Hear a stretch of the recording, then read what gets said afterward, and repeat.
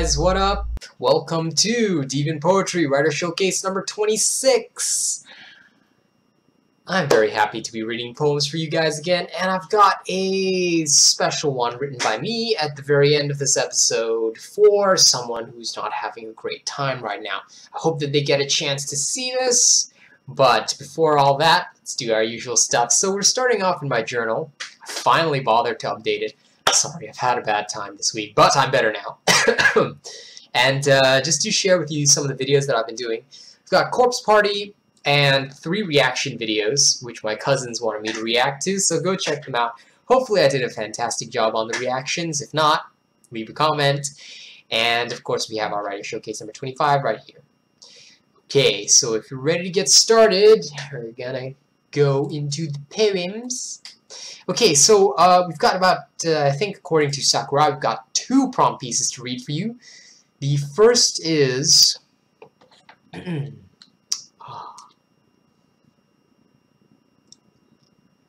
okay, so the first is For You by Venus of the Rain.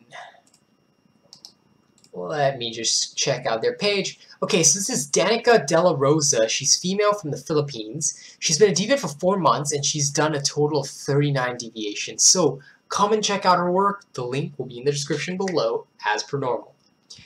Okay, here comes For You.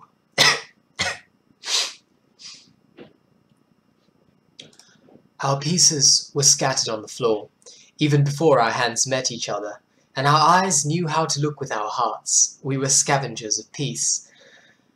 We were strangers to the light, in this deep well of defeat we dwelled. But we sought light most of all, and love in this earth. We smiled as we tore off our bandages. We fought despite our fears. Patterns of disappointments, I knelt weaker than ever. You felt alone this, in this world. I think you felt more alone in this world than ever, but I believe we can make it through. And God wants us to be stronger than ever. Our lives began when we let our souls be brave and reach out to each other's heart. And all things may look like they're falling apart, but they're really being rearranged.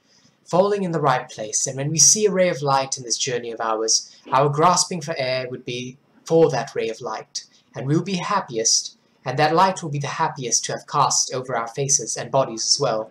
Our pieces will be intertwined, and our love and smiles will build our home where the birds and other creatures are free to fly and roam, without worrying about hunters and trespassers, where the rain is most welcome. And the trees are going to dance with the pleasant wind, and the moon will behold our love, our radiant hope, and our courage to live. So that was For You by Venus of the Rain. Thank you for participating in our prompt. I don't know why my tongue messed that up, but good job. Okay, moving on, we have a dark prompt by Cat Servant. You've seen him in so many of my videos. Can I skip the intro this time? Nah, that'll be rude. Okay. This is Cat Servant, male from the United States, deviant for four years, 5,124 deviations. Come check him out, please. Alright. And all of his work is very short, so it's easy to read. Okay, you ready? Chains of the past, rusting away, times never last, more than one day.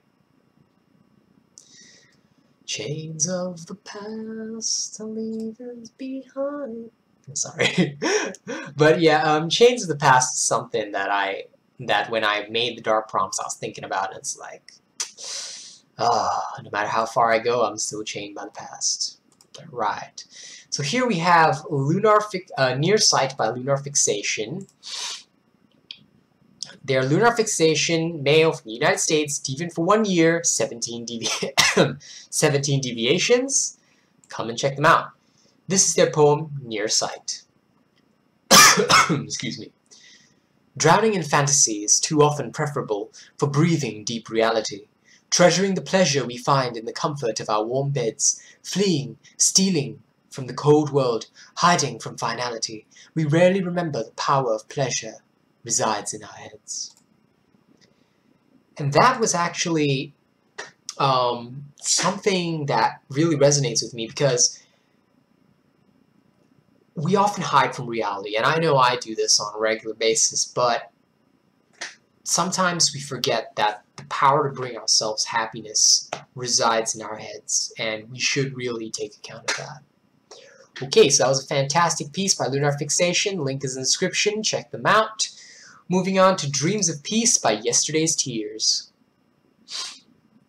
Which would be an awesome band name, by the way. Yesterday's Tears. I like that. Okay, so this is the Prince of Penguins, female from the United States. Prince of Prinnies, should be. Okay, Deviant, Deviant for two years, 85 deviations. Please come check them out. And we're going to read the poem. Excuse me. Itchy throat. Water, water. Oh, Wait, you have to forgive me. I'm actually not coughing. It's just that I've got an itchy throat for some reason. Okay. Ready. We bloom to a world in deep slumber, silent under the heavy quilt of ash. I wonder if they dreamed of a time long ago, before the black dust filled their lungs. Maybe if we were quiet as well, we could hear them talk in their sleep. Whispers about that glow in the distance that shook the very ground and devoured the sky with an angry growl. How it might have been beautiful if it weren't for the fear creeping in their bellies. We bloom to a world, finally at peace. I'll leave the interpretation to you readers, but that was a fantastic piece for me. I really liked it. That was Dreams of Peace by Yesterday's Tears. The author's name is so suitable as well. Like I said, it would make a fantastic band name. Alright, so moving on, we have Firebird by In the Space Between. These people all have really awesome band names. In the Space Between. That would be a cool, like, sort of punk band it's not an insult, but I, I kind of feel like it'd be like Breaking Benjamin or something. Okay, this is Eileen, other from the United States, deviant for seven months with 75 deviations. Come and check them out. They probably have a lot for you to read. If you haven't checked them out yet, time to get started. Link will be in the description below. Let's get started. Autumn has gone up in flames, winter brings ashen remains, fragile bird skeletons with white blazing feathers, they break easily in this brittle bone weather. I'm inhaling cold ashes that rattle my lungs, my ribs, my heart. And this phoenix is failing apart. Oh, and this phoenix is falling apart. But sometimes that is necessary. Yeah, and actually increase the size because I, I, thought it might be too small for you guys to see. So I'm actually going to give this a double reading. I'm going to read it again with the bigger size. Autumn has gone up in flames, winter brings ashen remains, fragile bird skeletons with white blazing feathers, they break easily in this brittle bone weather. I'm inhaling cold ashes that rattle my lungs, my ribs, my heart, and this phoenix is falling apart. But sometimes that is necessary. So that was Firebird by In the Space Between. Seriously, good band name, if it, is, if it was one. Um, and fantastic piece. Please do go check out their page. The link is in the description below. Alright, moving on. We have The Stray by That Quiet Guy. So this is That Quiet Guy. His name is uh, Justin Clapp Lloyd. He's 24, male, from Canada. He's been a deviant for five years with 543 deviations, so you really got to check him out. link will be in the description below. Alright, so you're to get started now. This is That Stray. The Stray, sorry. I often slip away and hide myself from life, wandering so aimlessly in and out of sight. No light to guide the way, never anywhere for long. Never ever called the stray, strolling deeply shaded alleys, always somewhere in between, never fixed address, passing close though rarely noticed, the life of a wanderer is lonely, though not hopeless, focused like seclusion. I may be lost in my own world, but I hold no delusions. Now that was a fantastic piece. That was The Stray by that quiet guy. Link will be in the description below. You really gotta check that out when people write like pieces like this, it's I cannot write like this. I try, but I cannot. My style is completely different. So this kind of thing, I dig it, and you really should check it out. It's beautiful stuff. Right, so that was our last po poem for the day by uh, a poet that's not me, and I've got one piece that I want to read for a friend. I know they're not having a great time right now, and um, I want to help them, but can't help someone until they take your hand. So that's why I titled this piece, Take My Hand. And if they have the chance to hear this, I hope that they will, because I'm ready to stand by them as they have stood by me. Gonna be using a slightly different accent for this one, because it's the way I wrote it. I'm street. You've told me that you're in a dark place right now, and believe me, I know all about the dark. I know how it feels when everything is against you, when the things you want in life just get further away. You're doing the best you can to keep everyone happy, but it seems like six more things got dropped on your plate.